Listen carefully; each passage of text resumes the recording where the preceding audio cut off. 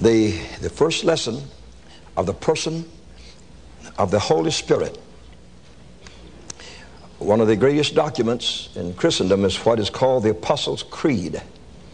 And in the Apostles' Creed it says, I believe in the Holy Ghost with capital letters of a person.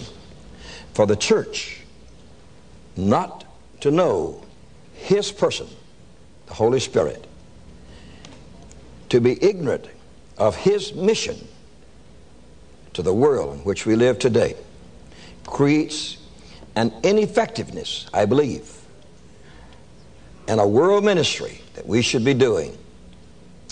That until we come to know him better, as we should be showing you whose dispensation this is, we in certain areas will be ineffective to do the job that must be done preceding the return of our Lord and Savior from heaven. Millions of people at this moment are aware of the apparent lack of information. I was.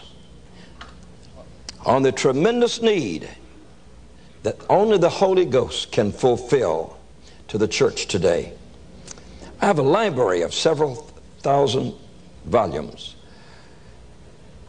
and I was amazed when I, thinking I had a, a full gospel library, I was amazed to discover I had less than six books on the person of the Holy Spirit.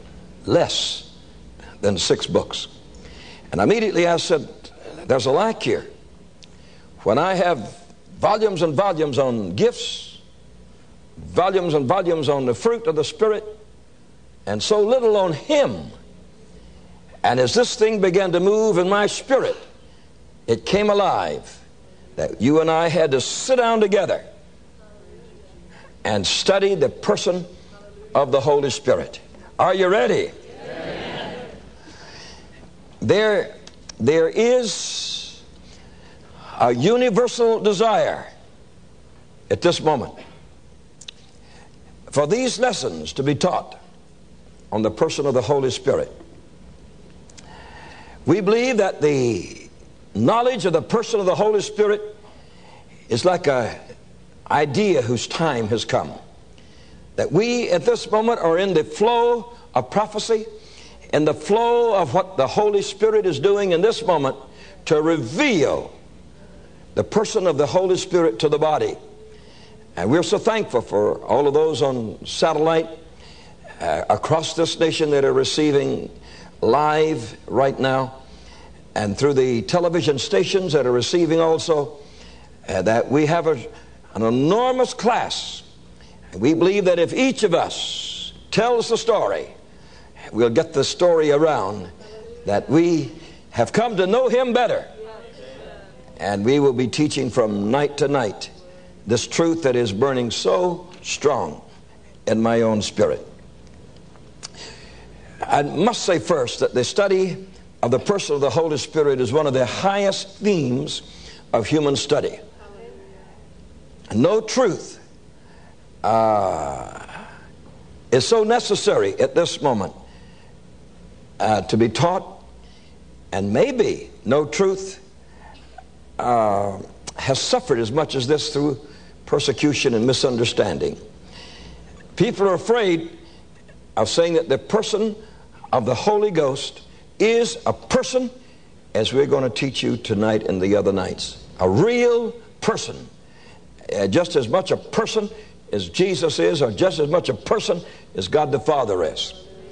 And we are bold to say it because we're going to move out into it, believing God that even as we talk, new revelation will come and that we'll all get excited about it. Can you say amen? amen? I would like for us to begin this particular session with a word of prayer. Holy Spirit, be present in this class. And as our Master, the Lord Jesus, said, You would teach us all things, we're ready for you to teach us. As He said that you would guide us, we're ready. Guide us. We're ready to move into a new dimension of truth And we believe a new dimension of power. So therefore, keep your hand over us. We shall stay in the full embodiment of truth as taught by the Word, and that we shall move forward into dim- dimensions of power and strength. And all the people said, These are studies that are dealing with deity, the highest order, and, and uh, not easy to deal with. When you start thinking you can analyze and define God the Father, you just got a big job on your hand. And you think that you can tell the full story of the mystery of the incarnation and that the imperial Son of the Most High God condescended to come here to this earth and to save us, you have a big order on your hands. And maybe a bigger one when you say, I will now define the person of the Holy Ghost and say that when you get to heaven, you'll meet him. And that right now, as a person, you can come to know him in a much greater way. Well, that we have to leave there. We're just going to say that we are dealing with an identity of deity and ask God to help us. We shall discuss the person of the Holy Spirit as God with all of his attributes of personality. It's going to be really exciting. Of all the idiosyncrasies of his temperaments and, and his nature that he deals with human beings from, that will be exciting. And we will be talking and describing and emphasizing truth on a divine level asking God. I don't know what might happen. I'm ready for it to happen. I'm ready for it to happen. We believe that this is a truth whose time has come, and we're ready for it. From Him, not from a human, but from Him. We shall observe that the Holy Spirit is not an abstract dogma of mysticism. And that's where it has been relegated to, maybe for a long time. The Holy Spirit is a person as a third one in the Godhead, and that we are not dealing with an abstract dogma of any kind. We're not dealing with an impersonal force. There are impersonal forces in the universe. The Holy Spirit is not identified in that way. We are identifying the Holy Ghost with personality. And I'm so eager to get to it until I might jump my points if you don't hold me back. The Holy Spirit is not a quality of divine essence. Some people would like to designate him as that, that he is a quality of divine essence. We will remove that far from us as we delve into these truths because we personally believe that the Bible teaches. We personally feel that in these studies on the person of the Holy Spirit, that they're absolutely imperative to this generation to understand who He is, what He is, and what He will do for you.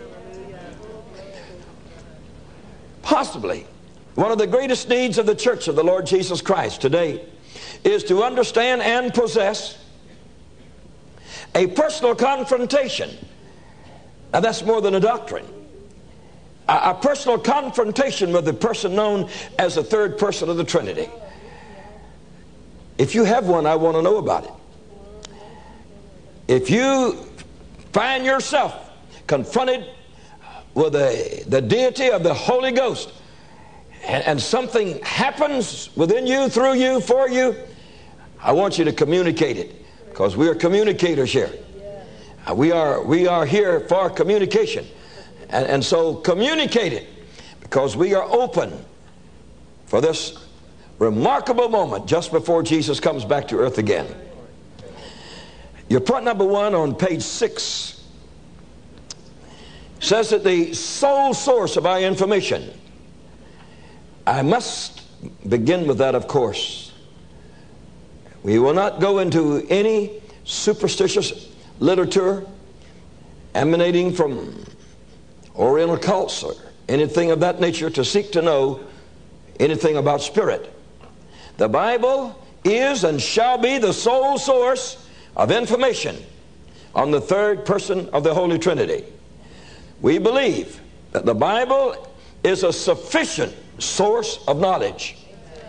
So we're going to keep in the lids of the Holy Scripture in order to understand the, the tremendous, the tremendous reaching out and reaching in to God for knowledge relative to the person of the Holy Ghost. I feel uh, that God the Father and that God the Son, our Lord Jesus Christ, that they are speaking to my spirit. And I say this so sincerely and so deeply. And that we have been many months putting their teaching syllabus together and, and, and never cease. I mean, we haven't, we don't feel we have completed anything. We feel like we're reaching for divine truth, and that's the reason we want you to feel the same way. You will not, in this class, receive the final, the final word, but you will become so hungry for truth. In fact, they tell me that a good education is a desire within you to learn. If they can ever get that in you, then you are now educated. Many people have no desire to learn. There are Christians that have no desire to learn. They, they like little parrots. They just want to hear somebody say something and they'll chirp it back. We don't want you to be that way. We want you to be investigators. We want you to be penetrators. We want you to reach into the very depths of God's truth and there find satisfaction. And I won't ever have satisfaction until I know more about the person of the Holy Spirit and what He has to do in our lives as of today. And all the people said. I feel that God the Father and our Lord Jesus Christ is speaking to my spirit to better know the director of the present dispensation of grace. Not to just talk about him. I, am afraid I have done that too long. But to know him. So now, now, now what we're going to really hold firm with you in this is this, that we are not just solely wanting to teach you a doctrine. I want you to know him. My, my thirst to know him is so great until every day and every night now this thing is burning in my spirit. And that's the reason why I believe that God in these classes will give us a fresh revelation and we are ready for it. This is especially important, we believe, in this final dispensation of man's rule on planet Earth. Man's rule began with the dispensation of innocence in the Garden of Eden. It will terminate with this present dispensation of grace. That makes this the second greatest dispensation in all of mankind's history. We are living in the second greatest dispensation. It might be the first dispensation was the greatest because it was the dispensation of innocence. We don't even know how long it was in, in force. We don't, all we know that one day it terminated with sin. But now we are in the final dispensation, not from God's side, but from man's man's legal rule on the face of this earth in the dispensation of grace. Because in your last paragraph at the bottom of your page six, the next generation, the next dispensation coming after this, which is ordained of God, is called the dispensation of the kingdom age, which will have the Lord Jesus Christ as its lawgiver, its administrator, its king. That kingdom dispensation over, over which the only begotten Son shall rule personally will last for 1,000 years and is referred to as the millennium dispensation. That's the next one coming up. It does not have a factor in it of man ruling. So the only dispensations in which man has ruled have been these six, and we are now in the finality of the sixth one. I believe that really you could divide all dispensations into three. You can have the dispensation of the Father that began with the creating of Adam and Eve in that dispensation of innocence. And it continued through the dispensation of law, which would be for 4,000 years. Then at the birth of the Lord Jesus Christ, you had the dispensation of the Son, the Son of God. He was the leading one. Uh, he was the one that was in front. He was the one that divine truth was focused upon. And we have there the dispensation of the Son of God.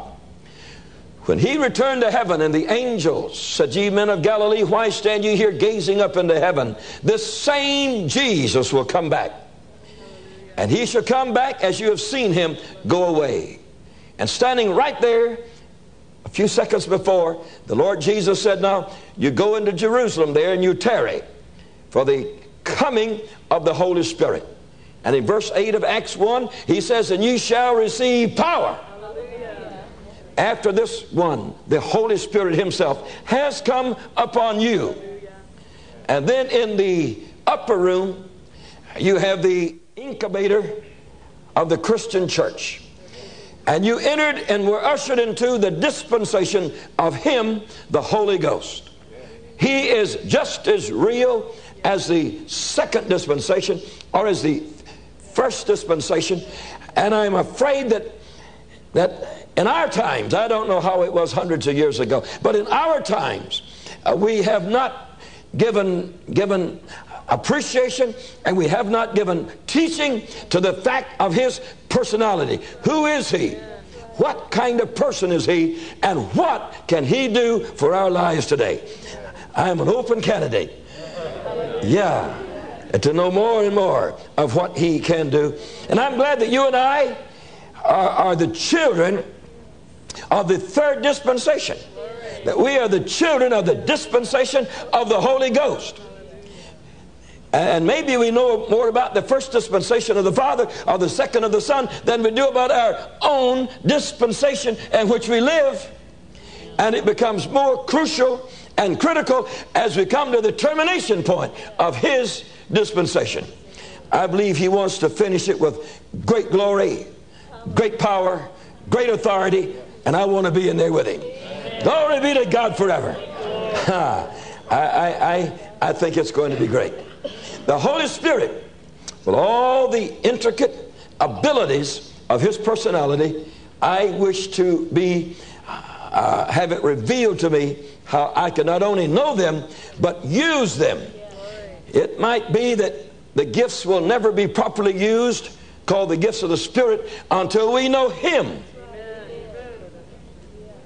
in a greater way. It, it, it, might be that we cannot see the fruit of the Spirit in the church when in a lot of places we're not seeing the fruit of the Spirit. That maybe we have not seen the fruit of the Spirit because we don't know the giver well enough. And so it is time for us to say, God, we're going to penetrate. Uh, we're going to pray. We're going to seek you about it. And if we get something good, we're going to share it with Brother Sumrall. We promise.